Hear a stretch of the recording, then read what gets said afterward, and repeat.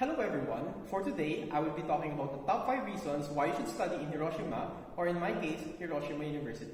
We all know that Japan has various strong points, especially in science, technology, and research, as well as its rich culture, safety, cleanliness, and healthcare. With its first-rate universities in research and education, there is no doubt that studying in this unique country offers an exceptional learning experience. But why Hiroshima? Let's begin. Number 5. Superb location and cheap accommodation. Hiroshima University main campus is located in Higashi Hiroshima City, a university town 45 minutes away from the prefectural capital. That means that you have everything necessary in the city, but less distractions for your studies. Accommodation here is not very expensive, and the cost of living is cheaper compared to the nearest metropolitan areas such as Osaka and Fukuoka. I live in Hiroshima International House for 6 months and that costed me 5,900 yen a month without the utilities. Currently, I live in Hiroshima International Plaza, a hotel-like accommodation for 900 yen per day, all in. Such accommodation not only provides decent housing for international students, but also serves as a hub for making network of friends from different parts of the globe. Number 4. Various activities for free. Living in a different country can be very stressful, especially if it is your first time.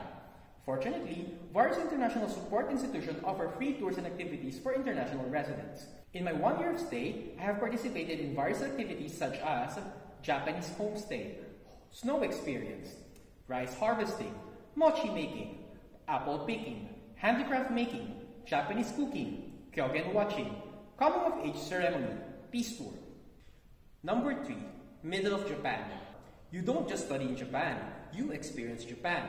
Hiroshima is somewhat in the middle of Japan, making the regions of Chugoku and Kinki, as well as the islands of Shikoku and Kyushu easily accessible.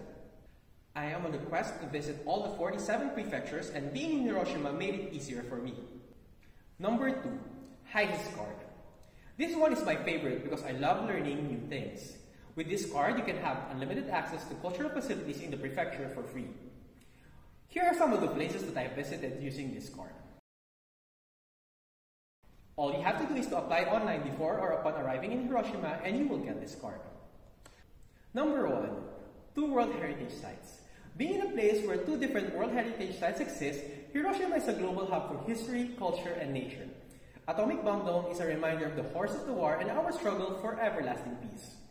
Its presence in the midst of Hiroshima skyscrapers helps us comprehend the scale of what happened and why it should not happen again.